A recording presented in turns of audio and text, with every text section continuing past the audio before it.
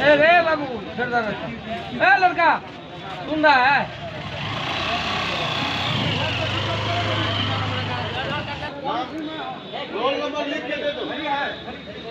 सिंहेश्वर प्रखंड में बिहार बोर्ड की मैट्रिक की परीक्षा आज से शांतिपूर्ण माहौल में शुरू हो गई है। सिंहेश्वर प्रखंड में तीन परीक्षा केंद्र बनाए गए हैं, जिसमें Manohar Durga high school, project girl high school और बीएस कॉलेज को परीक्षा केंद्र बनाया गया है।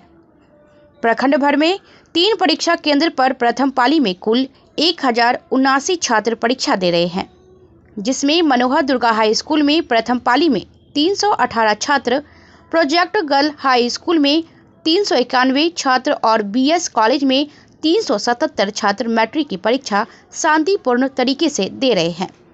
वहीं केंद्र पर सुरक्षा के पुख्ता इंतज़ाम किए गए हैं।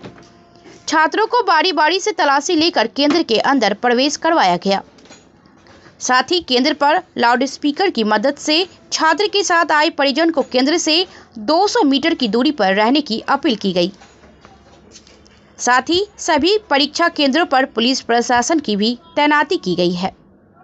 बीएनपी न्यूज़ के लिए सिंहेश्वर ब्लॉक से संवाददाता सदाम हुसैन की रिपोर्ट।